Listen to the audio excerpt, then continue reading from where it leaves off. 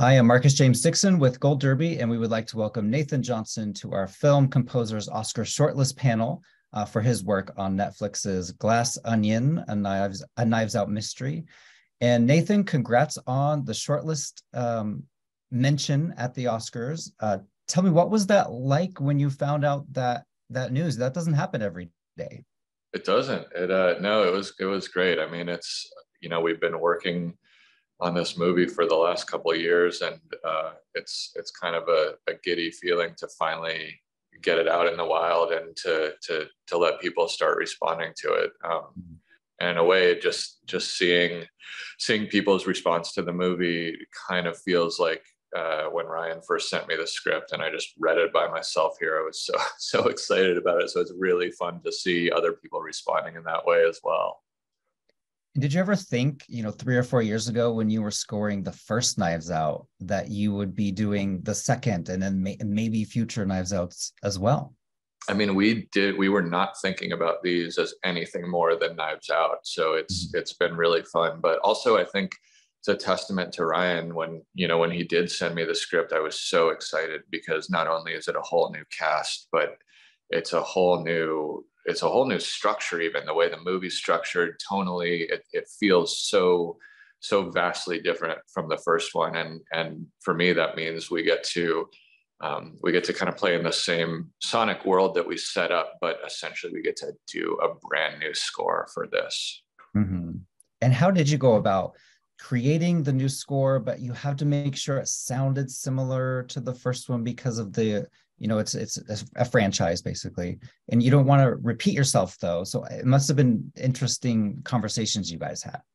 Yeah i mean i think um, i think the way we keep it in the sound world is is sort of sonically and it's something that that we were really excited about with the first one. We were talking about you know let's do a full orchestra but let's let's have precision be the defining thing for this. Um, you know so it's not it's not like an atmospheric washy wall of sound. Every every section we can hear the players but also we can hear the imperfection. We can hear the the scratch of the bows on the string. We can hear the the breathing of the of the wind and the brass players. Um, and and so that world to me i mean i i love i love love imperfection in music. Um, and and that's been something just since i was a, a kid that i enjoyed. So it feels really rewarding to be working with some of the best players in the world, but to kind of take approaches and use techniques where it feels very, very human.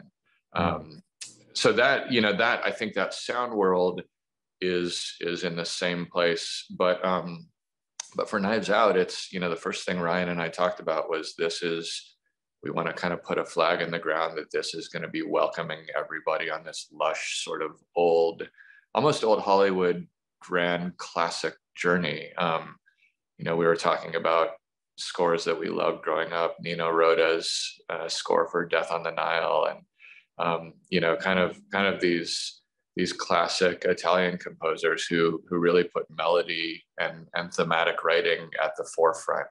Uh, and to me, that that just kind of is the most exciting sandbox to get to play in with these worlds.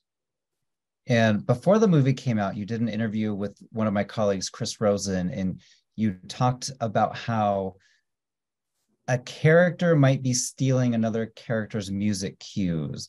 And I know you couldn't say anything because the movie hadn't been released, but now that it's been out, and I, I assume everyone has watched uh, on Netflix or, or in the theater, um, can you talk a little bit more about that aspect? Yeah, so uh, you know the um, these movies are very fun. Obviously also there's the mystery and the ominous sense but but the thing that i've realized is um, you know it everything sort of hinges on the audience's connection with the protagonist and the protagonist is not blanc. It's not the detective character. Um, in this movie the protagonist is andy and uh, Janelle Monáe's character, and she starts as very much an outsider, but but by the halfway through point, she's very much our protagonist, and and so Andy's theme is, um, you know, it, it, has to be this theme that that can keep morphing throughout the movie as we keep mm. learning more things about her. It needs to be it needs to be very powerful yet vulnerable at the same time. It needs to it needs to be ominous yet romantic. Um, and there's a moment in the movie where where Miles, Edward Norton's character, is up in the glass onion talking with uh, with Blanc, and he's spinning this tale about you know he's looking at a picture and talking about how he misses that bar and uh, how Andy was the only one who would tell him the truth. And and I suggested to Ryan, I was like, what if what if Blanc's or sorry, what if Miles's character steals Andy's theme here, sort of in the way that he stole her company, um, and also because he's he's kind of spinning this tale to Blanc, and and for me, as I was thinking about his character, it seemed appropriate that um, you know Edward Norton talked about Miles as being the kind of character who never had an original thought in his life. And it just seemed really appropriate to me that as he's talking about this very vulnerable moment, that he would need to tap into Andy's character to sell that um, to sell that story to Blanc. I love that so much. I can't wait to go back and watch those scenes. I want to see how it, it plays out. Um, and Janelle Monáe, just as a side, that's this is the best I've ever seen her. Oscar voters, She's please don't phenomenal. forget her. Yeah, she is really, really phenomenal on this. And the great Daniel Craig is also phenomenal. He's back as Detective Benoit Blanc. Uh, he solves the most unsolvable crimes. He has he's such a fun original character. How do you go about coming up with his uh, theme? His his what instruments do you use to bring that across? Yeah, so Blanc has a few motifs that that you know we hear in the first Knives Out and that come forward just for moments in this one. I, I think one of the things about Blanc that I love is um, that he he is constantly kind of reinventing himself based on what he needs other people to believe about him. You know, his his whole goal is to peel back the layers to kind of pull at this thread and find out what's going on. Um, and when I when I'm writing for Blanc, I'm I'm kind of imagining just this little wry smile. Um, you know, there's there's definitely mystery, and he's he he has a purpose.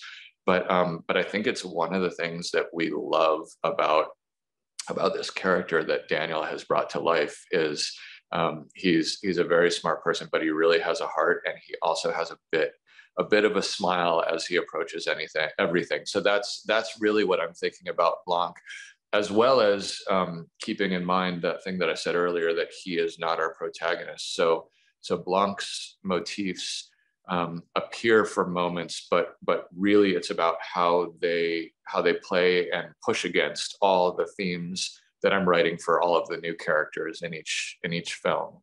Mm there's the scene at the beginning where some of the characters are talking about how the Bach fugue is essentially this musical puzzle. And I imagine as the composer, you maybe had fun with that fugue concept.